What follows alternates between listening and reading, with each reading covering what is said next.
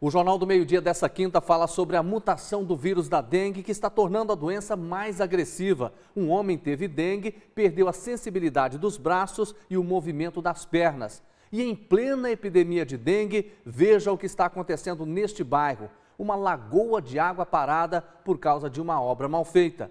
E a telefonia está no topo da lista, mas na lista de reclamações do PROCON. O Jornal do Meio-Dia revela quais são os principais problemas.